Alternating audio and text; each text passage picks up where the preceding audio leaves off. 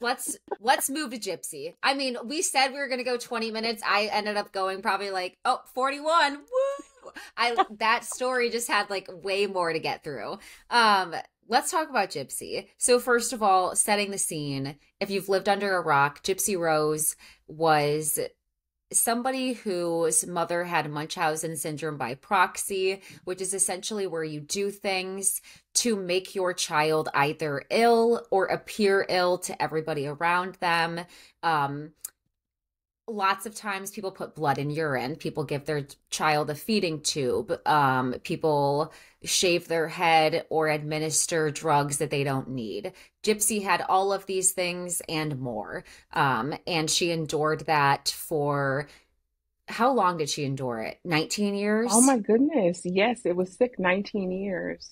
Um, yes. yeah she was 19 when it all went down. So yeah Okay, so she endured this for 19 years. She underwent 30 unnecessary surgeries um, in total, and she had no autonomy.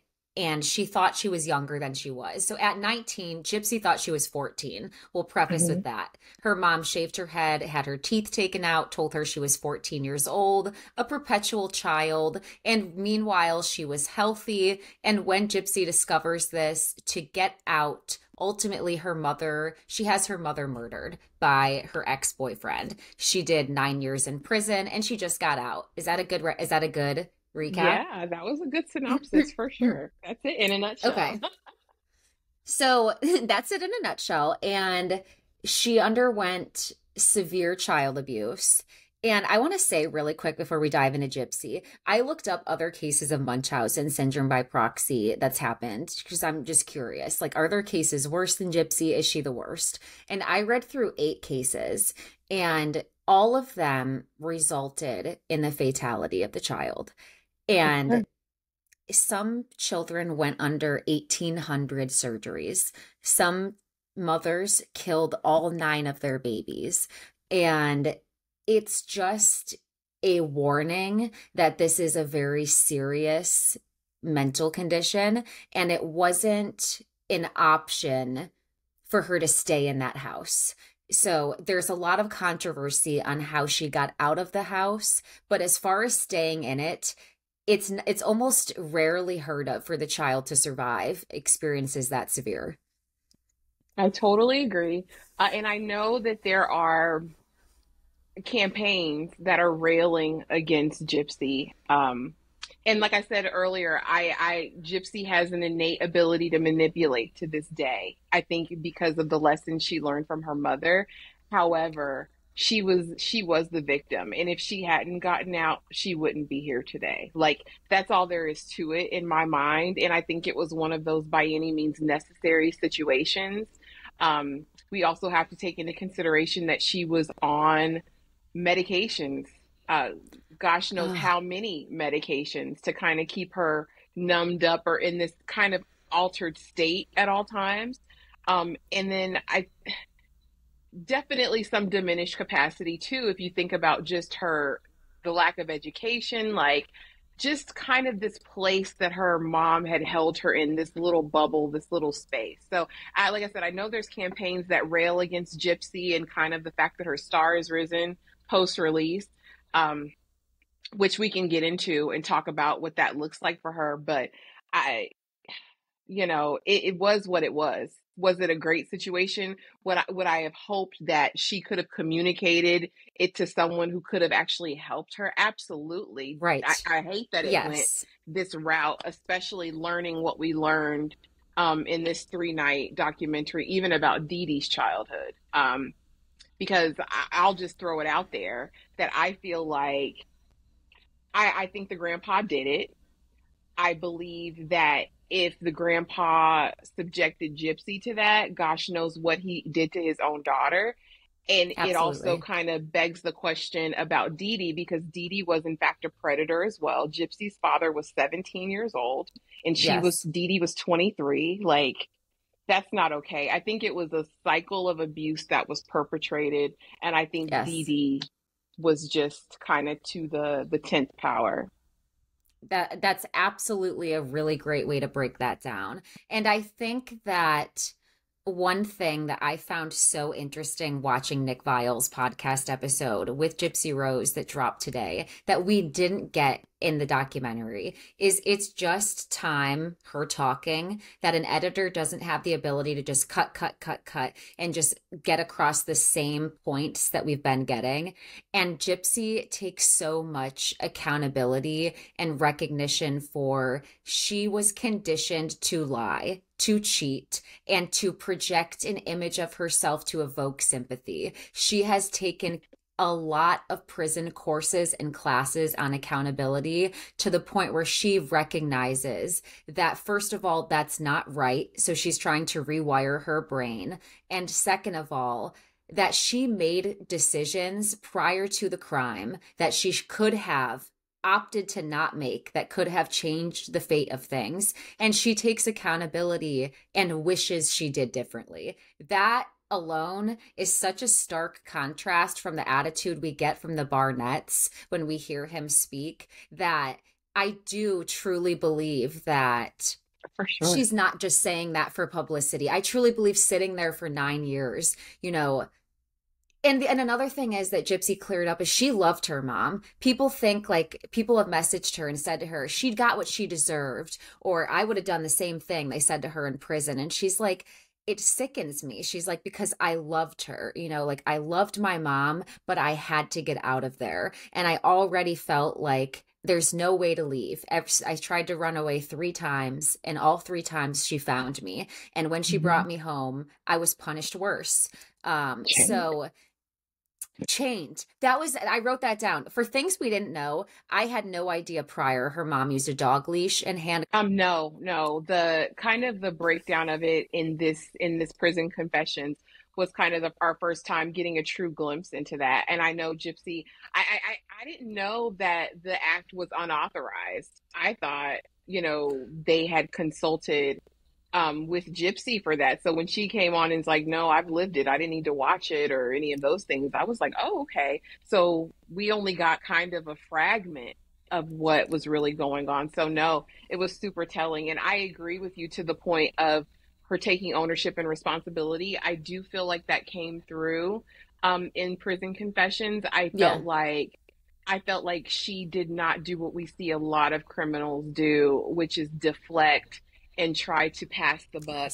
Um, she was like, "No, I I did it, and I'm sorry for it." She's like, "I just I just don't." You know, no, I think she's been very candid and very honest. Yes. I'll give, I'll absolutely give that to her. And it does make so much sense. She was kind of conditioned to be a master manipulator. Like that was her yes. training. yes. So it probably still, she probably still has residue of that. And she said, you know, too, if I you know, it, it, if she had the socialization, she was at school to have multiple personalities, have, you know, some people are like, I watch Disney movies, I didn't do this. Okay. Then you then you went to school and a guy snapped your bra and you quickly realized that Prince Charming was a dick. Okay? Yeah, yeah. So was going to be a little douche to you to show you he liked you for a few years. Um so Gypsy didn't have that, nor does she have girlfriends to talk about behavior with and compare things to. So if she had asked someone who did not have multiple personalities, they would never have agreed to the idea or thought it was reasonable to kill her mother. It would have been and this is the other thing. People need to people need to keep in mind that while Gypsy could have asked for help, her mother legally made it so that she couldn't. She was declared mentally incompetent. Anything oh. said by Gypsy was going to be not believed. I, I, truly don't even know if family would have believed her. Even if she told her dad, I'm not sure what he would have said. What family could, and that's the other thing. It's like, it's like so we know that Dee Dee and and Gypsy's dad, there was the age gap, right? She she kind of took the 17 year old boy and did whatever and he didn't love her he told her that Dee Dee gets mad runs away does all these things so what really was that dynamic and how much access did he really have to gypsy um, growing up? How how safe was that? Now we know that um, Dee did allow Gypsy to talk to her grandfather, but now we know what was going on with granddad. So was That's that really a, a place point. she could have gone to? I don't think she felt. Uh, ex- well, if we go by what happened in the act, when they moved to what was it, St. Louis, when they moved to Missouri and they do the Habitat for Humanity and Gypsy starts connecting with like the neighbors, that was kind of like the first time we saw her have like someone outside Friends. of the home that maybe she could have confided in. And I think that's yes. what kind of helped lead to everything. But you're right. There was no one that was really going to trust her, not in terms of yes. the authorities. And I don't know if people understand what it's like to be, or the, how serious it is to be declared mentally incompetent. It basically means that you have this one person that's over all of your affairs. If something goes on with you, they're always going to be contacted. So D- there was never a situation where Dee Dee would not be brought into it. There was never going to be a safe space for her. Absolutely. Um, in terms of talking to medical professionals, police, op- no one. Yeah.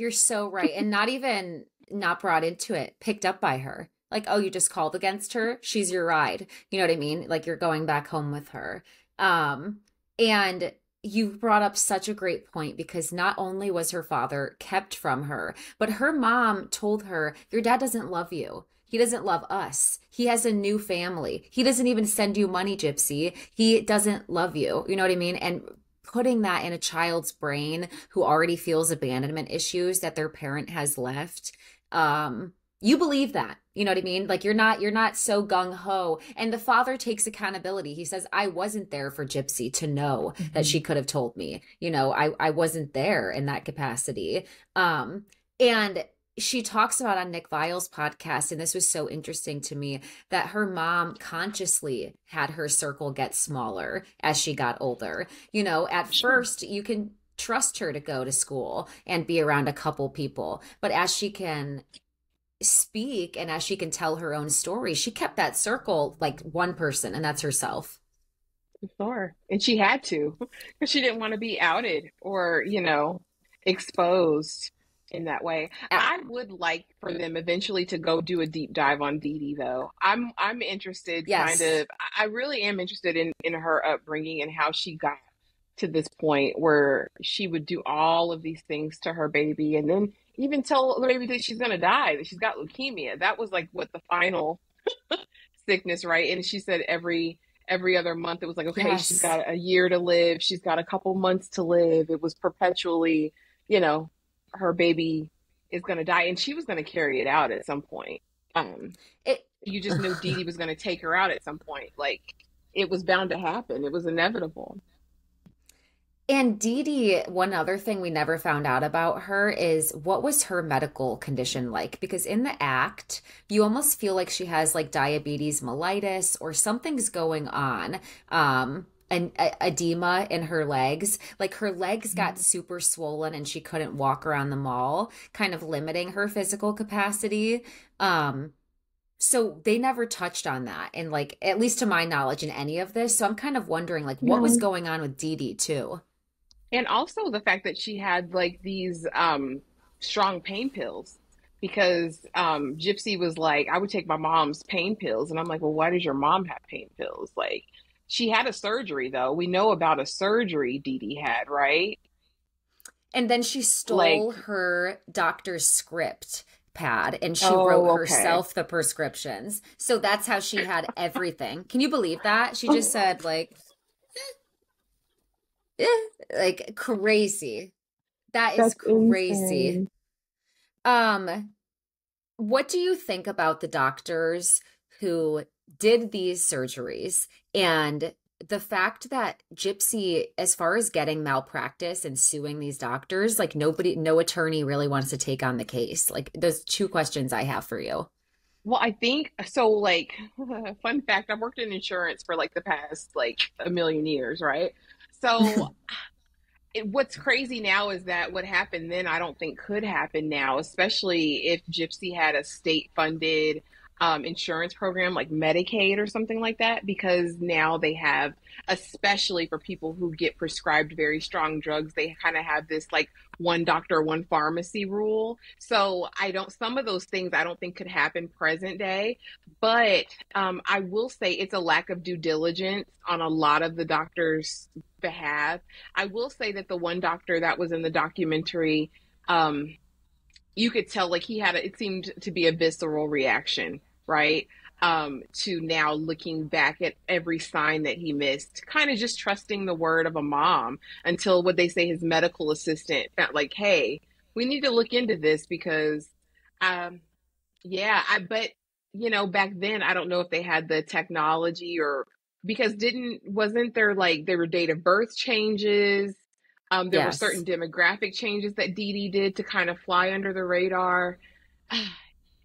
I think though some tests you kind of have to do two or three times. Like I can't see how you say she's got this terrible terminal illness without a concrete diagnosis. Like I don't that part right. I don't understand. So I I believe they should be culpable. I think it's probably the attorneys um finding some sort of intention maybe on the doctor's part or some sort of um lack of due diligence based yes. on whatever the medical criteria are. And so that might be hard to prove because the doctors probably, you know, asked for the information. Dee signed a consent, release of information.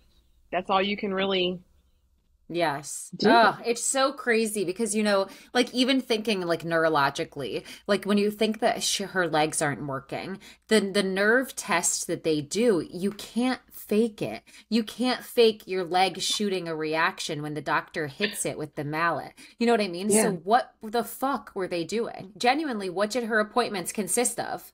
I I I, I don't get... I've watched enough of these medical these doc, bad surgeon, doctor death, all this stuff.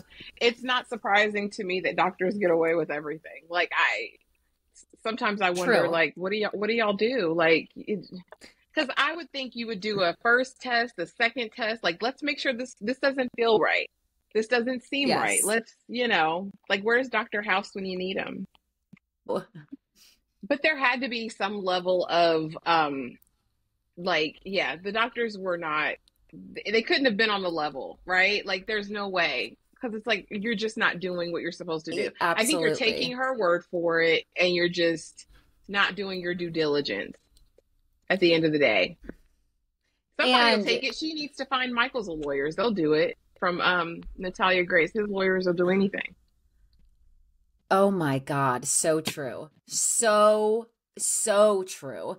Um, what do you, Gypsy, what do you think about her ex, Nicholas, being in prison? And do you want to know what Gypsy said on Nick Viall's podcast when they asked her if she feels bad for him? Well, like I definitely want to know, but here's and this might be an unpopular opinion because I've had so many people come under my video um, that I did about the kind of my initial impressions of the documentary, and they're like, "Well, I just want to know why she's out and he's locked up."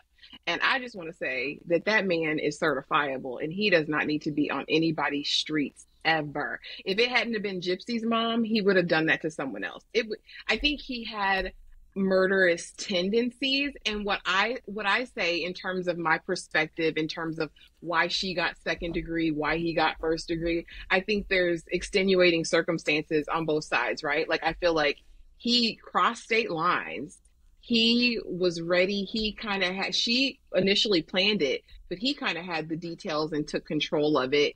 He had these murderous tendencies. He not only wanted to take her out, but then he also wanted to violate her after post mortem, which is like, what the heck? He had delusions. He thought he was some 400, 500 year old vampire named Victor. Like, there are so many other things as it relates to him that need to be dealt with now, do I think he should be in prison? I think he needs to be somewhere for the criminally insane. I think he needs intensive treatment and therapy. But I will say, I think if it hadn't been Gypsy in that situation, it would have been a, another situation. He he wanted to kill, like in my opinion. Absolutely. But I do want to know what she said. Absolutely. What did she say? I I agree. She pretty much kind of said what you said actually. Um pretty much it's like you know, she she's not going to comment and say that he should be in a mental facility rather than prison because um I, I don't even think legally her attorneys would let her make a statement like that. You know, she's like, she acknowledges that she's the reason for Nick being in prison, you know, that she's the reason for it. But she doesn't know she feels sympathetic for him because she believes that Nick had murderous tendencies. He had a fantasy and a desire to murder. And he mm-hmm got the ability to live out his dark fantasy. Like he had these dark fantasies, he got the ability to do that. It's something that he wanted to do. He wanted to kill, he wanted to rape. He got the chance to do that and he took it. Um I, I um I think that he belongs in a mental health facility and I hope that he can get enough treatment and maybe be somewhere that's even a little bit more comfortable to be you know for him, but I don't think that he should be in society because no. I, I, I really think it would. I really think it's dangerous. That's just my I personal opinion. Yeah, that's yeah, my personal I, opinion. Yeah, no, I think no, raping the no, daughter no, at thirteen, like he, like he said, he had ideal idealations and hopes of if Gypsy and him have a child that he would rape her at thirteen years old. What?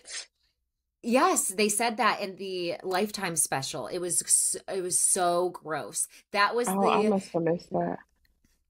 That was the um like the, the their their parameters of their relationship. Like first of all, he got to rape either Gypsy or her mother after he I murdered her. And that when they had children and their 13th birthday, he was allowed to take their daughter's virginity.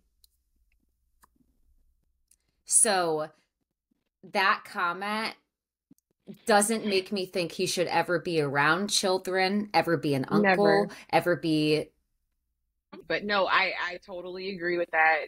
Godejohn or whatever his name is. He needs to be under the jail. Like you know, get him the help he needs, all the things. But he does not need to. I don't know why people are saying that he should be like. Why is she out and he's still in? I I think it's they're. It's just different.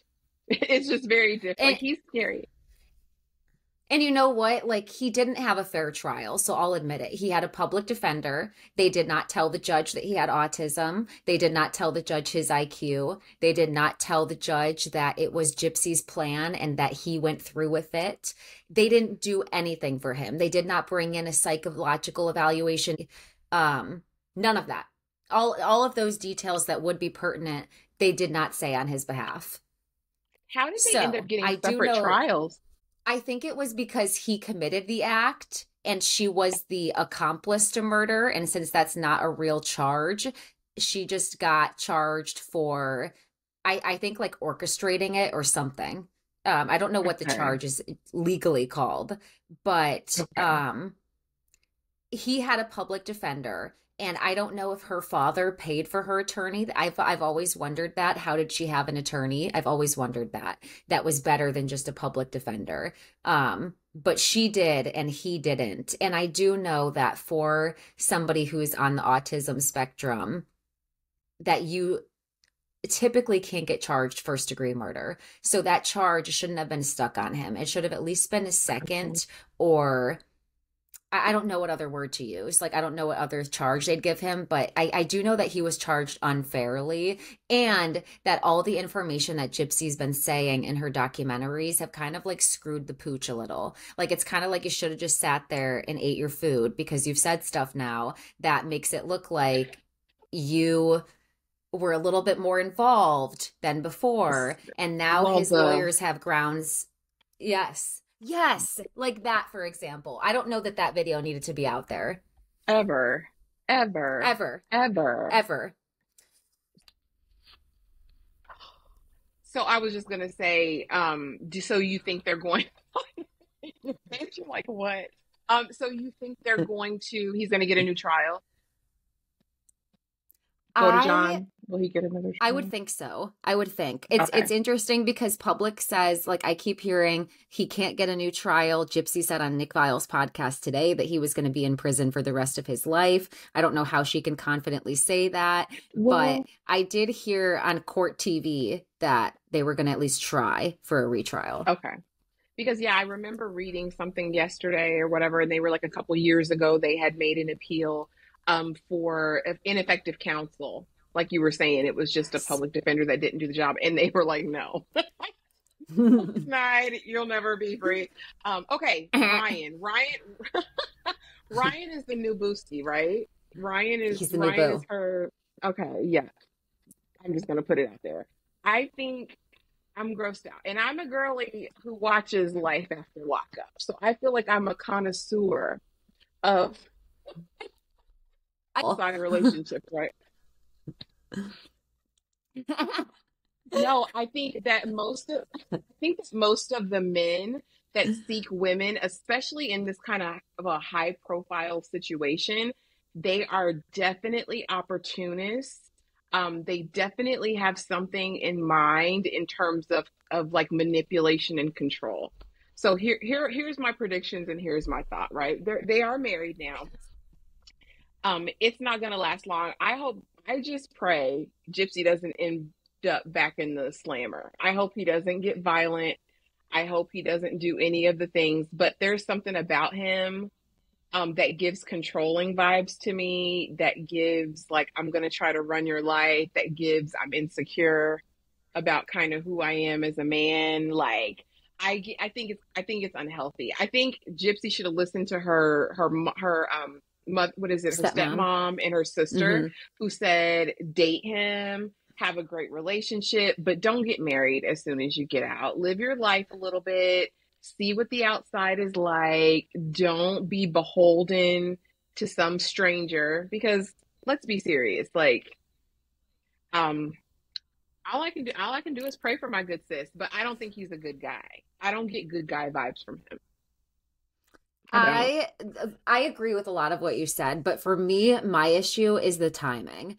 I don't understand why a good a good man who's confident in himself, confident in their relationship, and also just strong enough to say, I hope you want to be with me, but you've never dated. You've never even been on a physical date. So you need to do that because until then, I don't want you to be with me because you're going to be curious in a couple of years. No. What does he do? He wants to get married on their seventh Lock visit. There's yeah, their seventh visit before she's out of prison, get married, do the whole thing. And in my mind, that's so that she can't change her mind and so that Exactly. he has access to her financial assets. And likely she didn't issue a prenup because she didn't know she had 6 million followers waiting for her.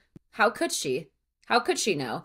Um, I do think that it's concerning that even multiple times, no matter how many people ask him, What did you think when you watched Gypsy Rose's story? And he says, I watched it three years ago and I felt. I don't even know if he says I felt bad for her, so I'm not going to add He that. He didn't. says I thought she was cute. He She's says I thought she was cute. That's it. That's it. Every time. That's it. So so Like, shallow you- and so gross. And what was cute about her? Her head was shaved. She was emaciated. She was missing teeth. Like, be serious. And she looked like a 13 year old girl. She looked 14. I don't know what's what was cute about it. And then he's a don't get it. teacher and he works with he works with kiddos, right? I It's- just feel like hmm hmm it's it's it's it's a mess. I do. I, I feel like he's. I think you're right, and I think what the thing that she didn't want to do is the thing that she's doing because her family and her have said, you know, I was when she said I felt like the most freedom, like her first day in jail. I think she said she felt like the most free she'd ever felt in her life. But I'm like, you leave the prison of your mom's control you go to a real prison where you're definitely a prisoner and now you're entering this marriage and not saying marriage is a prison but you're on lockdown. You you don't have time Yes. to really understand and be in the world and be around people and explore who you are as a woman like and for any man to see that and to be like i still want to lock you down. I want to make you mine um, and not give her the freedom and the opportunity to do that. I have a question for you though. So I think in episode six, um, you know, they talk about they got married and then they were immediately like, I want to, she's like, a couple weeks Yeah. later, I think we should get an annulment. I don't know if he's enough for me. I don't know, whatever. He talked her off the ledge. What do you think about the long term viability of their marriage? No. I don't think that they're I don't think that they're going to stay together because um if they do great. I want to preface with I am wishing Gypsy the absolute happiness. Absolutely. Like and I and when I say these things, it is because I am unbiased and I don't care about hurting Ryan's feelings. I am seeing yeah. somebody who's been a victim of the system, adults, people not helping her, people who do love her, abusing her. So I'm giving my true opinion the way I give my opinion on like Amanda Bynes' life. And it's like, I'm only thinking of you, like only mm-hmm. thinking of you and your life. Um, Period. So with that being said, I think that it's a it, it, it's it's just a disservice to treat yourself like you're not you're not going to be curious. You mean to tell me that with her celebrity status, let's just say shit jack harlow comes up and he says Come i want to date you. I want to date you. She's gonna say no. She's gonna say no. He wants her to say no to everybody who she could for ryan. And i'm not and the no shade no tea oh, towards shade him, on my end. But it's it's shade I shade. Ryan. I'm shade. Ryan you know you're lucky. Like ryan don't play with me. Like jack harlow be serious. Bobbi Althoff, like... yeah. Bobbi Althoff or whatever the hell, she got on Drake like randomly to sit in the same bed as her. You know what I mean? Like anything's possible. Anything's possible. So I think they jumped the gun. I don't think it's going to last. I appreciate her sister's genuine concern and just kind of being like, it's feeling opportunist. Like she's like, I feel a little bit better, but not really. I wouldn't. I don't feel good about it. Yeah, but not really. Like she pretty much said that, which I loved. Um, I did too. I was like, oh, I like her sister. me too. I'm like, yes. But but Gypsy um, has a spirit about her. You can tell that. And I, I mean, she's very charismatic. Even watching her, she's blossomed blossomed into this beautiful woman.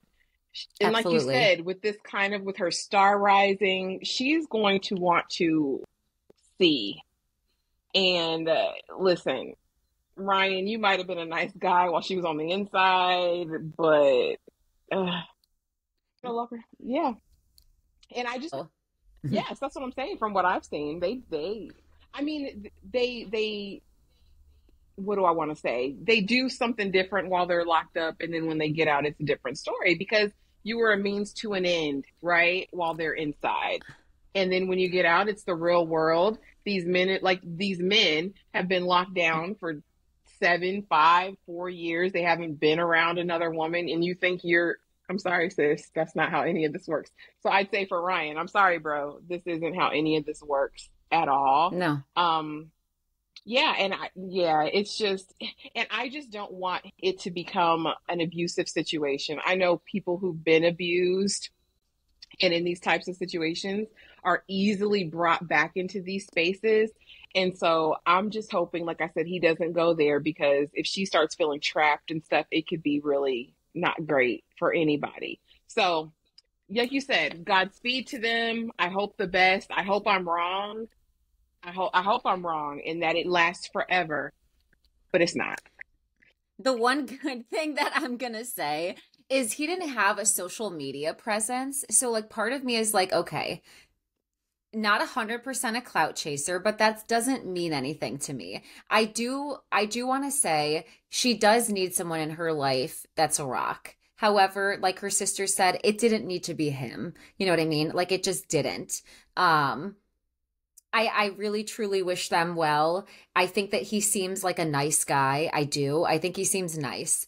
I do think that he has a lot of insecurities. I think seeing the amount of letters Gypsy got from men, um, just like her her previous boyfriends that still want to reach out to her, I think that's going to get to him. And I think ultimately Gypsy will have to validate him a lot. That's draining.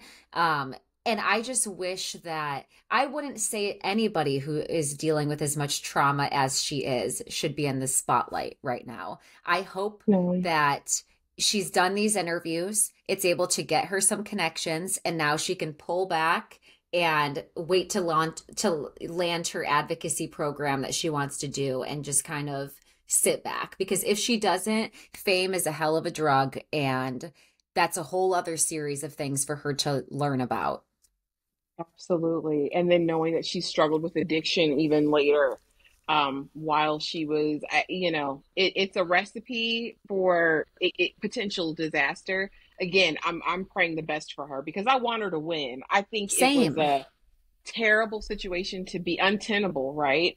Um, for her to be in from the beginning, and I pray and hope that she can hold tight to her core group, which is like her her stepmom, her dad, her sister, like that core group and she can build that up. And I pray that she's getting like intense therapy, like like weekly. Like I hope that she's actively pursuing that um, and doesn't slack off on it because you know it's easy. Like you said, your fame is is definitely a drug, and she's gonna yes. get offers up the wazoo for exclusives, book deals. Like I see her, she's posting on socials. Like I, yeah. you know, and people can act like all day like we haven't heard every single person say with fast money comes fast problems. Let's be real. You have I you have 6 million followers. She's going to make a decent chunk of change from even just her social media presence very soon. Um mm-hmm. having access to that when you have never had a life like that mm. about Taylor Swift, about so Ryan on the Nick Viall podcast said that he thinks that the reason they had to leave Kansas City it was because Taylor Swift's people found out she was going to be there and they said no no Taylor can't be there and sent them off. He said that on Nick Viall's podcast, which I thought was really funny that he said that. Do we really think that Taylor's checking for Gypsy like that? Like, do we really no. think she was scared of the whole stalking no. thing or whatever they allege? Like, no, Taylor doesn't care. She's unbothered. I believe like, that it's going against your parole. Like if you're if you asked one parole officer and they said yes and then you didn't ask the other one, that sounds about right for every person I know who has had to deal with being on parole. It's not fun. You're micromanaged. You're free, mm-hmm. but you still have a lot of things that you can't do. Um I don't think that Taylor Swift was involved personally. Yeah, I don't think so either. I think it was a matter of she's going to cause a frenzy. Like, I mean, seriously, she got released, right? And they were like, you need to get out of town. Like, we just don't want you here, period, because we don't want any smoke. Like, get out of our town, get out of our world, get out of our life. I think it was that. They, Taylor could care less, please. See, and he's probably the Ryan guy, he's going to feed into that star thing. It's going to be like a codependent situation, and she's going to have to constantly affirm him. And he's going to be like, "Oh, but you are great. It. These people are worried about you." Oh, uh, uh, uh. and she's going to have to be like, "No, baby, but it's only you. It's only you, Ryan." But it's her. Like, imagine, imagine who's going to be in her DMs. Imagine who's going to be, and she's curious. She's curious. She wants to know. I'm curious. Like, I'm curious for her. Like, you know what I mean? Like, hello, people are curious. Um, yeah. curiosity and she's entitled to it. Her childhood was stripped away. Her adolescence was stripped away. Her 20s were taken from her. She's never gone to she's never had a college experience, a party experience. Like not saying that she wants to do these things at 32, but I hope that she what they do want is they want to have a child soon. I hope that they don't. I hope that they wait and I hope that she does not get locked into that. That's just my personal. That's thought. another. See, that's another thing to me with him, um, and that might be partly her idea too. But I do think it's him, um, because like lock her down with marriage, lock her down with a baby. That gives me, you know, twice the chance of her staying put. Agreed. Agreed. And I think that that in itself are the behaviors that you can't ignore because those men are controlling. They are intentional behaviors, the same way that Dee Dee was intentionally making the mm-hmm. circle tighter and tighter. And the you know people do have some sort of concept of what they're after and like i said if he met her in the outside world fine to even write to her in prison I'm watching you. I don't trust you. You know what I mean? Like to hmm. me it's odd to write to someone after prison with the with the goal of being in a relationship with them because you think they're cute from a murder trial. It's just not common thought process. No. And and that's what and that's what makes that that's what makes me feel like she was a prime target for a and I'm not calling him a predator, right. but a predator like person. Because what about her what about her in that trial or before, even in the act, even if you watch that show, what was attractive about little Gypsy Rose Lee? Like she was a victim, like a perpetual victim. Absolutely. What what, what was your she was cute. How was she cute? Agreed. Agreed. Like, cute, I, and and those are the a, she looked like a kid. Like that's that's throwing me. The fact that she literally looked like a little kid. and you said, "Oh, she's cute. Let me write her in prison." And like nobody called him on that. You know what I mean? Like to me that's odd. Like to me, like you would think at least one interviewer would say would ask about that because it's it's yeah. and it kind of, you know, I'm not meaning to dump on Ryan, but when there are gray areas like that, you don't know how to feel. I'm not a parent. I would not know how to feel though. And exactly. And people and anybody is capable of anything. Like I don't run anything by anyone. And of course we're not saying he is or isn't something. It's just like you said, it's very odd. You didn't come in saying, I saw how she was treated and I know I could treat her better than that, or I want to help restore her, or I just want to be a support system for her. You said she was cute. And like, bruh. Absolutely. Even just to say, I had a similar upbringing. I was in an abusive situation. When I heard your story, I thought we would really be good for each other because we'd understand what we've gone through. That's fine. It's like, you know what? Do you need cue cards, Ryan? Because I could tell you a couple of other things that would come across better than just saying that she's cute. And if it's anxiety that's just making him condense down the cute, it needs to be worked on, you know, because it could be. Yeah. It could be, you know, not knowing what to say. She's cute, but like you need to work on that because it's giving others the wrong impression. Yeah. I think it was just a matter of, you know, I'm the best thing smoking for her where she's at right now. Let me put my bid in. She's a oh captive audience, right? Like I agree. I and it, right, right. I always say I reserve the right to change my mind, so I just hope that everybody remembers that. And you know, the internet people people can take clips uh, that that's that's fine but our intention is not to berate ryan. We're actually just saying that there are legitimate practical red flags that we've noticed that would make us if she was our daughter or even a close friend say are you sure? Are you 100% sure for sure. And that's all we're saying absolutely in our way um, season three of Natalia Speaks, I want to bring you back on so that we can recap that episode together.